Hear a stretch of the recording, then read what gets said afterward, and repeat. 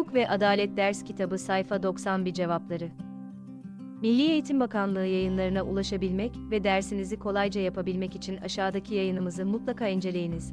Hukuk ve Adalet Milli Eğitim Bakanlığı yayınları ders kitabı cevapları.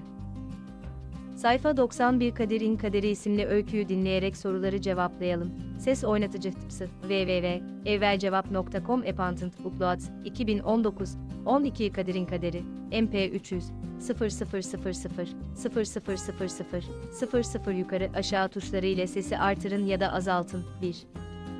Öyküde hangi hukuki sorun anlatılmaktadır? Cevap, öyküdeki hukuki sorun çocuk yaşta yapılan evlilikler.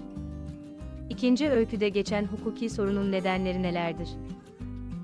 Cevap, cehalet, fakirlik, sosyo-kültürel nedenler. Üçüncü bu durum Kader ve Kadir'in hayatında ne gibi değişiklikler meydana getirmiştir? Cevap, Kader ve Kadir bu durum neticesinde okuma hayallerini gerçekleştirememiş ve okulu bırakmak zorunda kalmışlardır. Dördüncü Kader ve Kadir bu sorun karşısında kimlerden, nasıl yardım alabilirler? Cevap, Aile ve Sosyal Politikalar Bakanlığı'na başvurabilirler. Hukuki sorunların ortaya çıkardığı olası sonuçları aşağıdaki tabloda boş bırakılan yerlere yazalım. 14 yaşındaki Melike'nin, ailesi tarafından kendi isteği dışında evlendirilmesi. Olası sonuçları, mutsuz bir evlilik.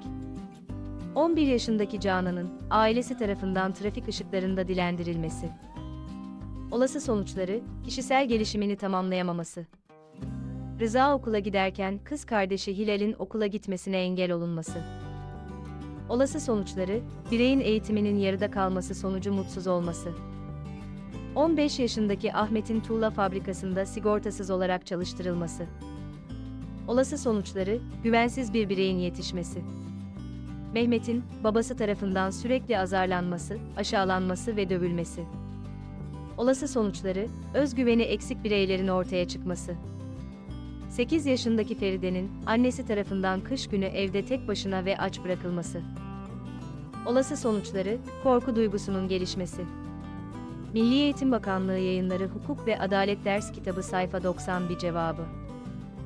ile ilgili aşağıda bulunan emojileri kullanarak duygularınızı belirtebilir aynı zamanda sosyal medyada paylaşarak bizlere katkıda bulunabilirsiniz.